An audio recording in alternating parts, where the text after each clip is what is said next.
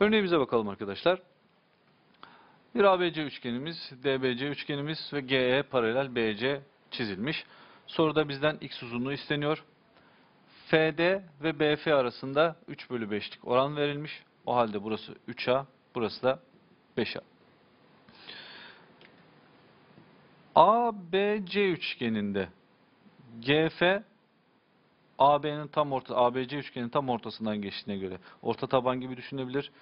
1'e 2 dersek burası 4 ise buranın 8 birim olması gerekir. Aynı şekilde buradaki FE'ye de paralel dediğimiz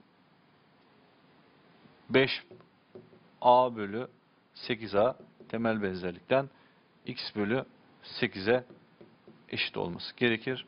Buradan x 5 santim olarak bulunacaktır arkadaşlar. ABC bir dik üçgenimiz verilmiş. DBC üçgeni de arkadaşlar bir ikizkenar üçgen. Çizdiğimiz tepeden indirdiğimiz dik tabanı iki eşit parçaya böler. Burası da 5 santim olması gerekir. Aynı şekilde burası da bir açıortaydır. C açısı ortak açı kabul edersek dikkat edelim alfa beta dersek alfa ve beta'nın toplamı 90 derecedir. Alfa 90 o halde B açısının beta olması gerekir. Buradan DEC üçgeni ile ABC üçgeninin birbirine benzer olduklarını söyleyebiliriz. Bu iki üçgen birbirlerine benzer olduklarına göre benzerlik oranı hipotenüsler oranına eşittir. 6'ya 10 yani 3 bölü 5. Benzer iki üçgenin alanlarının oranı benzerlik oranının karesine eşittir. O halde alanlar oranının k kare 9 bölü 25 olması gerekir.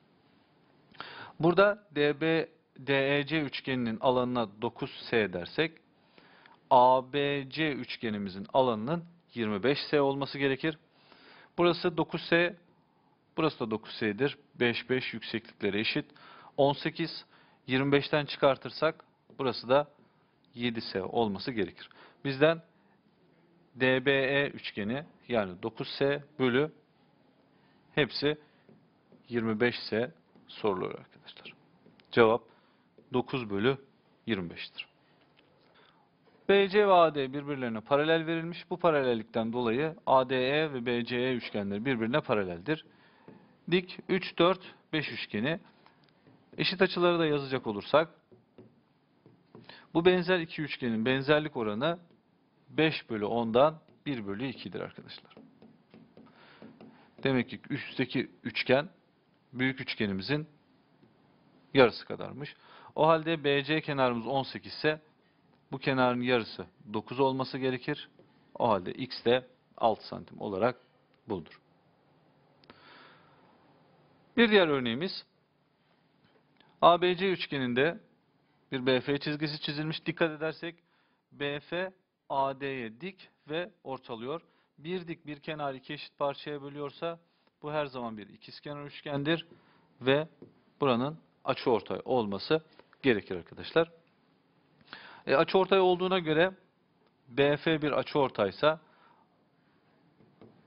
AC kenarını 2'ye 3 böldüğüne göre 2'de 4 santimlik bir yer varsa 3'de 6 santimlik bir BC kenarı olması gerekir. O halde DC 2'dir. Soruyu çözebilmek için bu aşamada A noktasından başlayarak bir Menelaus teoremi uygularız ve BE ve EF oranını bulabiliriz arkadaşlar. Bunun yerine D noktasından paralel çizerek de bu işlemi yapabiliriz. 2'ye 4, 1'e 2 oran paralel olduğuna göre arkadaşlar buraya 1, buraya 2 diyebiliriz. Aynı şekilde dikkat edecek olursak F noktası, E noktası buradaki DK'ya paralel. Orta noktalar olduğuna göre buraya A dersen burası 2A. Büyük paralelliği düşünürsek arkadaşlar 2'ye 6'lık bir oran var. O halde 2A'ya 6A olmalı. O halde BE 5A'dır. Cevabımız 5 bölü 1 yani 5 olarak bulunur arkadaşlar. Diğer bir örneğimiz ABC üçgenimizde FE ve GD paralelleri çizilmiş. Soruyu çözebilmek için B noktasından FE ve GD'ye bir paralel daha çizersek hatırlayın burada temel benzerlikler oluştu. G noktası orta nokta olduğuna göre paralel 4 ise buranın 4 olması gerekir. Aynı şekilde bunlar da paralel. 5'e 10. 5'e 10 1'e 2 oran demektir. O halde buraya A dersek burası 2A'dır. Soru AE ile ED'nin birbirine eşit olduğunu söylemiş. Yani buranın da 2A olması gerekir. 2A A artı 4'e eşit olduğuna göre A 4 santimdir. Bizden AC kenarı isteniyor. A yerine 4 yazarsak cevabımız AC kenarımız 8, 8, 16, 4 daha 20 santim olarak bulunur arkadaşlar. Örneğimize bakacak olursak ABC, ABC bir üçgen verilmiş. Burada BCD doğrusal. ACE de doğrusal. Bize BC ve CD oranı sorulmuş. Bir paralellik yok. Eşit açılar yok. Benzer üçgenler şu anda gözükmüyor. Ama B noktasından AC'ye bir dik çizersek arkadaşlar buraya da K noktası dersek BK ile ED birbirine paralel olur ve burada birbirine benzeyen iki tane dik üçgen elde etmiş oluruz. Üst tarafta oluşan 30-60-90 üçgeninden 2, burası da 2 kök 3 olduğuna göre benzerlik oranı BC ve CD oranına eşittir. O halde BC ve CD oranı eşittir. 2 kök 3 bölü 6'dan kök 3 bölü 3 olarak bulunur arkadaşlar. Bir diğer örneğimiz CE, FD ve AB, BC çizgisine dikler çizilmiş. Oranlar e, toplam soruluyor. AB ve EC. Bunlar birbirine paralel olduğuna göre dikkat edelim. 8 bölü 12 2 bölü EC eşittir. 8 bölü 12 eşittir 2 bölü EC kenarı. Sadeleştirirsek 4 ile sadeleştirelim. 2'ye 3. Buradan EC 3 santim bulunur. Sonra diğer benzerliğimize geçelim. Bunları silelim. FD ile AB'nin benzerliği 4 bölü 12 2 bölü AB yapar. Onu da yazalım arkadaşlar. 4 bölü 12 eşittir 2 bölü AB. 1'e 3 AB 6 santim bulunur. O halde AB 6 santim artı EC 3 santim cevap 9 santim olarak bulunur arkadaşlar. ABC üçgenimizde AE ve DF dikleri çizilmiş arkadaşlar. Dikkat edecek olursak iki açının da toplamları 180 derece olarak verilmiş. Bu açıları yazalım. ABC açısıyla ADF açısı bu iki açının toplamı 180 dereceymiş. O halde B açısıyla alfanın toplamı 180 derece ise B'nin bütünleyeni yani FDC açısının da alfa derece olması gerekir. Buraya dikkat edersek burada oluşmuş olan iki tane dik üçgende alfa 90, alfa 90 o halde üçüncü açılarının birbirlerine eşit olması gerekir ve bu iki üçgen birbirlerine benzerdir. Şekilde de gördüğünüz üzere hipotenüsleri eşit olduğuna göre yani benzerlik oranı 1'dir ve bu iki dik üçgen birbirlerine eş iki dik üçgendir.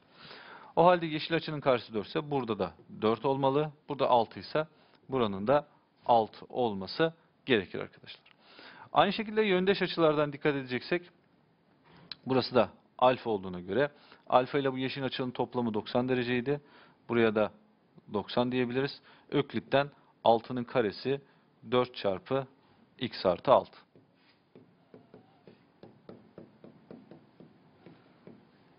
Buradan x artı 6 9 x eşittir 3 santim olarak bulunur arkadaşlar. Bir diğer örneğimiz ABC üçgenimizde DE ile BC birbirlerine paralel verilmiş. İç ters açılardan bu açı eşit. O halde bu da eşit. O halde burada bir ikizkenar üçgenimiz var. Burası 5 santim. Paralellikten dolayı temel benzerliğimiz var. 15 bölü 20 eşittir 6 bölü BC olmalı. Burada sadeleştirirsek 3'e 4 1'e 2 BC kenarımız 8 santim olarak bulunur. Bizden üçgenin alanı isteniyor.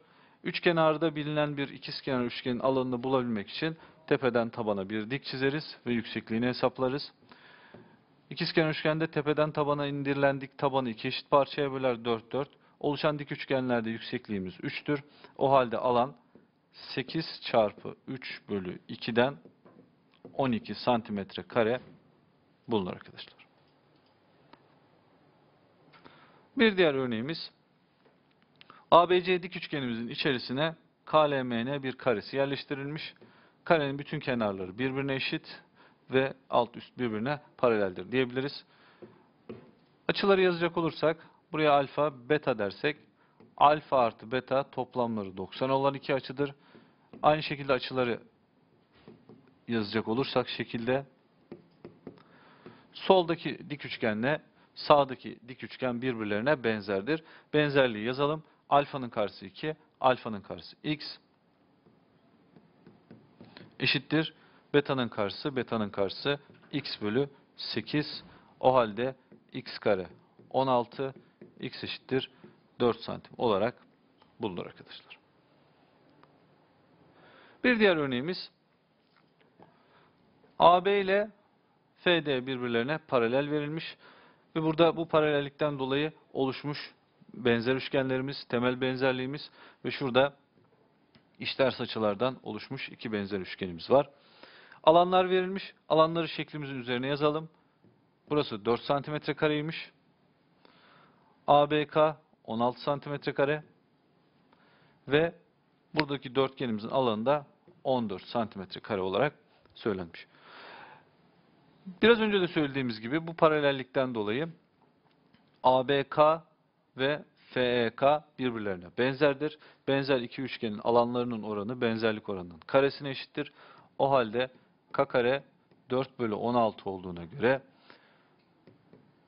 K 1 bölü 2 olduğunu söyleyebiliriz. O halde buraya A dersek buranın 2A olması gerekir. Aynı şekilde buraya B dersek burası 2B'dir. Soruyu çözebilmek için BE çizgisini çiziyoruz. B'de 4 cm karelik alan varsa 2B'de 8 cm karelik alan vardır. Hatırlayacaksınız bu dörtgenin alanı 14 cm kareydi. O halde buranın da 6 cm kare olması gerekir. Buradan dikkat edelim. FB üçgeninin alanı 12 cm kare ve EDB üçgeninin alanı da 6 cm kare. Alanlar 6'ya 12 olduğuna göre 1'e 2 oranı vardır. O halde yükseklikleri de eşit olduğuna göre tabanlar oranı alanlar oranına eşittir. O halde buraya B, e, C diyelim. B'yi kullanmıştık. C dersek burasının 2C olması gerekir. Buradaki üçgenimizin benzerlik oranı 1'e 2 idi. Alanları 14 ve 16 olan 2C ise buranın 4C olması gerekir. Paralellikten ED ve AB 1'e 4'lük oran var. O halde burada da BD oranında da 1'e 4'lük oran olması lazım. Buraya P dersek 4P yani burası 3P'dir. 3P'de 6 varsa P'de de 2 santimetre karelik alan vardır. O halde EDC 2 santimetre kare olarak bulunur arkadaşlar. ABCD bir dikdörtgen olarak verilmiş. Bir D köşesinde açımız var. F köşesine alfa dersek D köşesi beta. Alfa ve beta toplamları 90 derece olan iki açı. O halde buranın alfa, beta 90. O halde buranın alfa olması gerekir. Buradaki iki dik üçgen açıları alfa, beta ve 90 olduğuna göre birbirlerine benzerdir. Küçük olan hipotenüsü 5, büyüğün hipotenüsü 10 olduğuna göre 5 bölü 10, 1 bölü 2 bu üçgenlerin benzerlik oranı 1'e 2'dir. O halde beta'nın karşısı x ise burada beta'nın karşısının 2x olması gerekir. Burası 11 eksi 2x. Burası da 11 eksi 2x'tir. DAF üçgeninde bir dik üçgen olduğuna göre Pisagor teoremini sağlaması gerekir. Pisagor teoremimizi yazarsak 5'in karesi eşittir 11 eksi 2x'in karesi artı x karedir. Soruyu çözmek için parantezi açabiliriz. Fakat hipotenüsü 5 olan dik üçgenimiz 3, 4, 5 üçgeniydi. x yerine 3'ü ve 4'ü deneyerek e, sağlayıp sağlamadığını test etmekte fayda var. x yerine 4 yazarsak, dikkat ederseniz x yerine 4 yazarsak 11 eksi 2x 3 yapar. Demek ki x 4'müş arkadaşlar. Cevap 4 santim olarak bulunur. Eğer soruda x yerine 3 ve 4 yazdığımız halde eşit sağlanmıyorsa yapmanız gereken parantezi açarak ikinci derece denklemi çözmektir.